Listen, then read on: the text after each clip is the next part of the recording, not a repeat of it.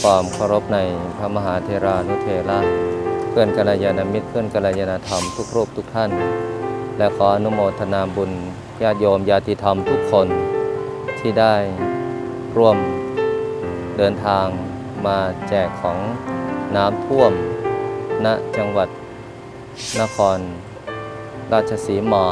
การลงพื้นที่ในครั้งนี้ก็ถือว่าเป็นครั้งแรก ณสถานที่จังหวัดดังกล่าว ได้เห็นถึงความลำบาก ไม่ว่าสถานการณ์น้ำที่ท่วมมาก่อนหน้านั้น และน้ำก็ได้ลดลงไป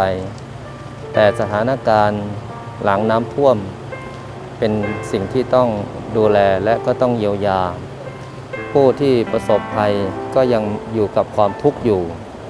มวลอัตมาภาพกับผม ก็ได้นำเครื่องประโภควันนี้มาแจก ทำให้เห็นถึงความปิติ ความยินดี ความอนุโมทนา และก็ความรู้สึกก็เป็นการให้น้ำใจ และแบ่งปันสิ่งของในครั้งนี้เพื่อให้กับผู้ที่อุปสบอุทกภัยในครั้งนี้ การที่ได้น้อมนำถวายเป็นพระราชกุศลในครั้งนี้ เพื่อ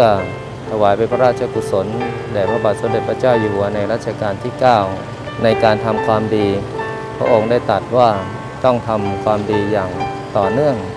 ถึงแม้ว่าทำความดีนั้นมันจะเหนื่อย แต่ก็ต้องทำและก็ต้องมีความอดทน มีความขยัน อีกทั้งก็ต้อง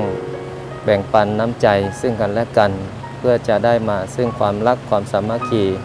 และน้ำใจคนไทยทั้งชาติ